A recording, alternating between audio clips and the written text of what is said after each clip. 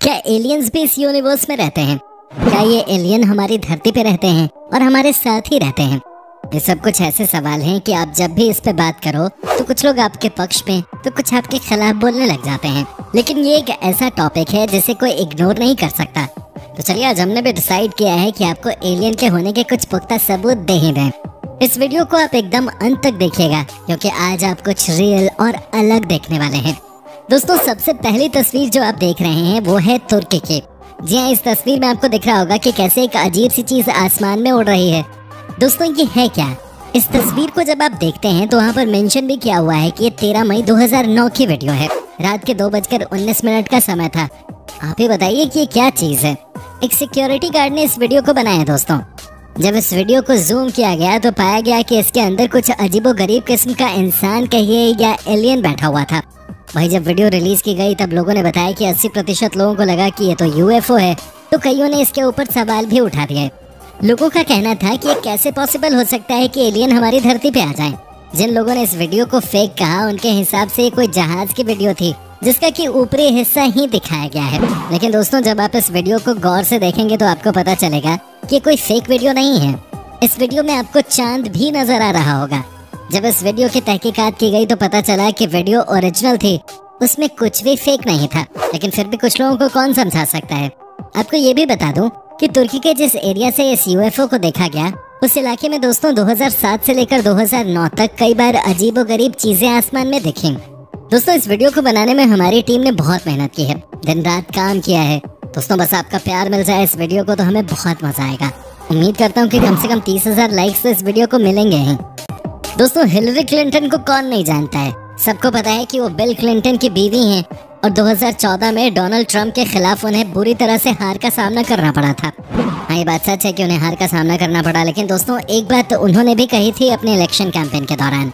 उनका कहना था कि अगर वो जीती तो यूएस में एलियंस से संबंधित जितनी भी फाइल्स हैं, वो सब सार्वजनिक कर देंगे।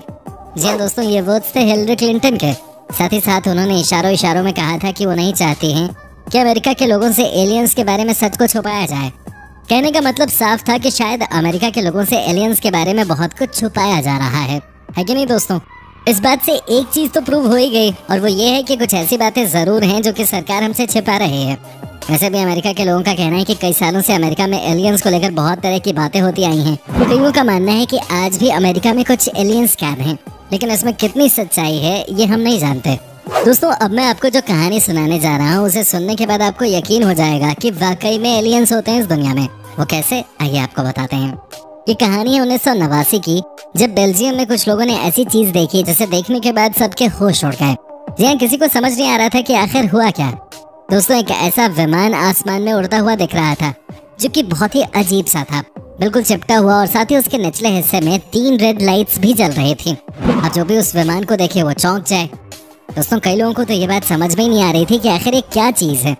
कम से कम तीस लोगों को एक ही तरह की चीज़ दिखे थे। अब सबसे बड़ा सवाल था कि क्या तीस के तीस लोग झूठे तो नहीं हो सकते ना? अब खुद ही सोचिए ना, कैसे सब झूठे बोलने लग जाएँगे? इसके कुछ ही दिनों बाद दोस्तों, एक बार फिर से इसी तरह का नज़ारा देखने को मिला।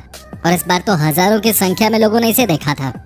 आपको बता दें, नौबत यहाँ तक आ गई थी कि एफ़ सिक्सटीन फाइटर विमान को छोड़ा गया यूएफओ का पीछा करने के लिए। और दो फाइटर जेट्स ने पीछा किया भी, लेकिन दोस्तों जो बातें सामने आई, वो चौंका देने वाली थी। उस फाइटर प्लेन के पायलट का कहना था कि यूएफओ के वो बिल्कुल सामने थे, लेकिन यूएफओ दो सेकंड के अंदर 214 किलोमीटर की रफ्तार से बढ़ के 1770 किलोमीटर प्रति घंटे की रफ्तार से गोली की तरह निकल गई। जिसे पकड़ना किसी के बस की बात नहीं थी। इतना ही नहीं, उनका कहना था कि ये विमान कभी नीचे तो कभी ऊपर। ये ऐसे बिहेव कर रही थी। मानो इंसानों द्वारा निर्मित अब तक की सबसे एडवांस फाइटर जेट से भी ये आगे की चीज़ हो। इसके बाद आधे लोगों को यकीन हो गया कि वाकई में एलियंस की मौजूदगी पॉसिबल है। दोस्तों, इस कहानी के बाद आपको यकीन हुआ या नहीं कि एलियंस हमारे बीच हो सकते हैं। वाकई में जो घटना बेल्जियम में हुई थी, वो बहुत ही अलग थी। है कि नहीं दोस्तों? चलिए चैनल को भी सब्सक्राइब करते रहिए, अगर आपने अभी तक ये काम नहीं किया है तो। दोस्तों, अब हम आपको दिखाते हैं एलियंस के होने का एक और सबूत, और वो दिया है साइंटिस्ट क्यूरियोसिटी रोवर ने। जी हाँ दोस्तों रोवर ने मार्स की सतह पे कुछ ऐसा देखा जिसे देखने के बाद किसी के भी होश उड़ जाएँ। जी हाँ दोस्तों, आपको बता दें, उसने देखा एक स्पेस क्राफ्ट बिल्कुल वैसा ही, जैसा कि यूज़ किया जाता है फ़िल्मों में एलियंस को दिखाने के लिए। ये पिक्चर क्यूरियोसिटी रोवर ने ही क्लिक की थी, जब वो मार्स पर पहुँचा था। जी हाँ दोस्तों, ये देखिए यूएफओ की तस्वीर। हालाँकि कुछ लोग भी थे जो कि इस तस्वीर को झूठा साबित करना चाहते थे और उनका कहना था कि ये जो आपको यूएफओ की तरह कुछ मार्स पे नज़र आ रहा है, वो कुछ और नहीं बल्कि नासा के प्रोजेक्ट में ही यूज़ किए गए किसी अंतरिक्ष यान का मलबा होगा। दोस्तों, वैसे आपको क्या लगता है एलियंस होते हैं या नहीं? खैर, जो भी हो, लेकिन ये तो साफ़ है कि ये जो तस्वीर है, उससे तो लगभग प्रूव हो ही जाता है कि कुछ न कुछ तो है, जो बिल्कुल अलग है और यूएफओ जैसा ही है। दोस्तों, एक और ऐसा ही मामला आया था जब लॉकेड मार्टिन कॉरपोरेशन के एक बड़े साइंटिस्ट ने ये कह दिया कि कई ऐसे एलियंस हैं जो कि अमेरिकी सरकार के संपर्क में हैं। जी हाँ दोस्तों, आप खुद ही सोचिए, एक ऐसा साइंटिस्ट जो कि बहुत बीमार था। मरने की नौबत आ गई थी। लेकिन दोस्तों, उसने मरने से पहले कुछ ऐसी ऐसी बातें कही, जिसे सुनने के बाद आपके होश उड़ जाएँगे। ये देखिए, उन्होंने कैसे एलियंस की पिक्चर्स दिखाई। साथ ही दोस्तों, उन्होंने ये भी कहा कि अमेरिका की कई सारी एजेंसीज ऐसी हैं जो कि लगातार एलियंस से संपर्क साधने में लगे हुए हैं। उन्होंने कहा कि अमेरिका की एजेंसी इस तरह के काम को कई सालों से करने के विचार में है, क्योंकि उन्हें पता है कि अगर एक बार एलियंस से काम करा लिया गया तो टेक्नोलॉजी के मामले में वो अपने देश को दस गुना ज़्यादा स्पीड से आगे ले जा सकेंगे। दोस्तों, आपको क्या लगता है? क्या इस बात में सच्चाई है? मुझे तो लगता है कि है, क्योंकि अगर सच्चाई नहीं होती तो आखिर क्यों एक ऐसा आदमी बोलने के लिए आता है जो कि अपनी मौत की दहलीज पे खड़ा है? ये कैसे पॉसिबल हो सकता है? उसे क्या लेना देना है? लेकिन उन्होंने सच बोलने की इच्छा दिखाई। और एलियंस कहीं ना कहीं तो हमारे साथ जुड़े ही हैं। आपको क्या लगता है? आप कमेंट करके बता सकते हैं। दोस्तों, अमेरिका के किसान ने जब पहली बार यूएफओ की तस्वीर ली थी तो दुनिया में हाहाकार मच गया था। जी हाँ दोस्तों, आपको बता दूँ, ये घटना है उन्नीस सौ पचास की, जब एक किसान की पत्नी अपने खेत में काम कर रही थी। कहा जाता है कि कई बार आपको सुबह के समय यूएफओ उड़ते हुए दिख जाते हैं, लेकिन कई सालों में एक बार। ऐसी ही घटना दोस्तों 1950 में हुई थी, जब एक औरत अपने खेत में काम कर रहे थे। अचानक ही उनकी नज़र पड़ी एक बड़े से यान पर। जब देखा गया तो पता चला कि दोस्तों ये यान बहुत अलग थे।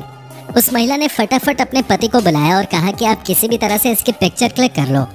दोस्तों किसान ने अपने कैमरे से फ़ोटो क्लिक की और ये अब तक की सबसे साफ़ साफ़ इमेज है यूएफओ की। आपको बता दें कि इसे देखने के बाद एक बात तो समझ में आई जाती है कि बहुत ही ज़्यादा चांसेस हैं एलियंस के धरती पे होने के। हो सकता है ये हमसे संपर्क साधने की कोशिश करें या करते आए हों। इस पिक्चर को हर अखबार में छापा गया। और इतना ही नहीं, जब किसान से पूछताछ की गई तो पता चला कि वाकई में ये दोनों सच बोल रहे थे। दोस्तों, आप खुद ही देखिए ये पिक्चर ये उन्नीस सौ पचास की ली गई तस्वीर है, जिससे साफ़ हो जाता है कि यूएफओ धरती के आसपास कई बार घूमते हैं। दोस्तों, अब हम आपको बताते हैं फिनिक्स लाइट्स की घटना के बारे में। जी हाँ इसे भी देखने के बाद साफ़ हो जाता है कि कहीं ना कहीं जो एलियंस की दुनिया है, वो हमारे नज़दीक आना चाहते हैं। ये देखिए नज़ारा। कहा जाता है कि इस तरह की लाइट रात के अंधेरे में कई लोगों को दिखे थे। क्या आप सोच सकते हैं कि ये यूएफओ के अलावा कुछ और हो सकती है? ये बहुत बड़ा विमान था और दोस्तों, जिस रफ्तार से ये उड़ रहा था, वो बताने के लिए काफ़ी है कि हम इंसानों ने तो इसे नहीं बनाया था। ये 300 किलोमीटर के एरिया में जितने भी लोग थे, उन्हें दिख रहा था। जी हाँ ये नज़ारा आप खुद ही देख लीजिए। आपको समझ में आ जाएँगी चीज़ें। कहा जाता है कि कभी भी इस तरह की चीज़ अमूमन आसमान में नहीं दिखती है। लेकिन दोस्तों, जो हमने आपको दिखाया है, वो वाकई में एलियंस के होने का सबूत ही दे रहे हैं। बढ़ते हैं अगली वीडियो की तरफ़। दोस्तों, ये स्किनी बॉब के नाम से 2011 में कई सारी वीडियोस यूट्यूब पे अपलोड की गई थी। एक के बाद एक वीडियोस आने लगी और सभी वायरल हो गई। सबने सोचा कि आखिर क्या बात है कि ये वीडियोस अचानक से ही वायरल होती चली जा रही हैं। आपको बता दें कि माना जाता है कि ये रियल वीडियोस थी। वो भी एलियंस की, जिसे फिल्माया गया था 1950 से 60 के दशक में। दोस्तों, कोई भी इंसान इस वीडियो को सीरियसली नहीं ले रहा था, लेकिन कईयों को ये लगा कि शायद ये वीडियोस जेन्युइन हैं। कहा जाता है कि जिस तरह से इस वीडियो में एलियंस चल रहे हैं, जिस तरह से उनकी मूवमेंट है, उसको देखते हुए दोस्तों लगा कि शायद ये हंड्रेड परसेंट रियल है। हालाँकि कई लोग ये बात भी कह रहे थे कि हो सकता है कि किसी एलियन की फ़िल्म को बड़े प्रोडक्शन हाउस को रिलीज़ करना हो, और उसी का माहौल तैयार करने के लिए स्क्रिप्टेड वीडियो को अपलोड किया गया। लेकिन दोस्तों, आज तक किसी को ये बात पता नहीं चल पाई कि आखिर में सच क्या है। आपको क्या लगता है कि रियल एलियन की वीडियो है या बनावट? है आप हमें कमेंट करके बता सकते हैं। दोस्तों, अंत में हम आपको बताते हैं मेक्सिको सिटी में क्या हुआ। जी हाँ एक दिन दो अलग अलग लोगों ने अलग अलग लोकेशन से एक ही वीडियो बनाई जिसे देखने के बाद साफ़ हो रहा था कि ये कुछ अलग ही चीज़ है। जी हाँ आपको बता दें कि ये जो वीडियो आप अपनी स्क्रीन पे देख रहे हैं, वो रियल है और साथ ही साथ दो लोगों ने इसे देखा है। ये देखिए कैसे यूएफओ के अंदर कुछ चीज़ें बाहर निकल कर आ रही हैं। कहा जाता है कि एलियंस ही थे और कुछ नहीं। आपको क्या लगता है दोस्तों कि ये एलियंस ही थे या कुछ और थे? देखिए ना कि कैसे ये यूएफओ की तरह चमक रही है और कैसे यूएफओ से कुछ बाहर चीज़ निकल रही है।